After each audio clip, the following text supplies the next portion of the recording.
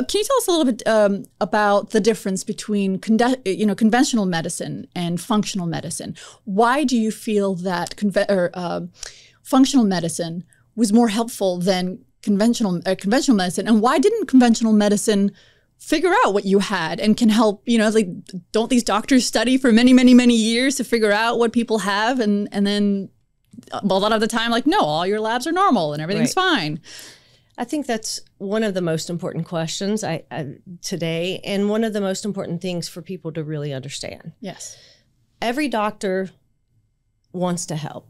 You know, every doctor is trained in a different field, right? yes And so when it comes to conventional medicine, the way I try to teach my patients is you go to an emergency room and they say, everything's fine. That means you're not dying, right? right so when you go to a conventional medicine doc and they say everything looks fine, that means you're not diseased. mm. So it's really disease care and sick care.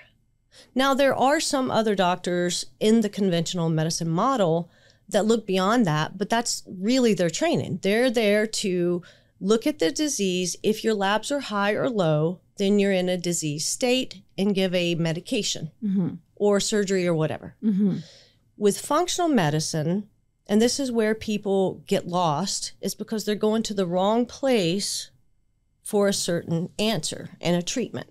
And it's not well like well known.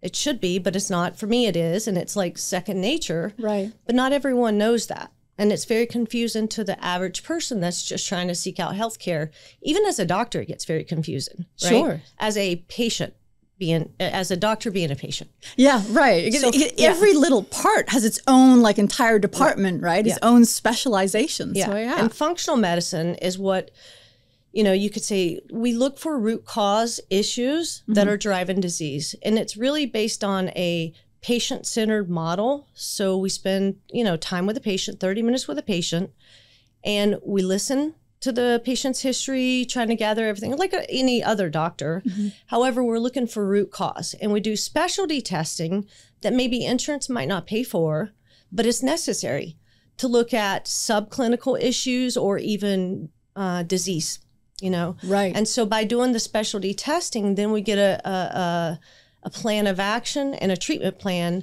And the treatment would be more lifestyle, nutraceutical, stress management. I mean, a lot of different, you know, natural remedies and natural uh, um, models.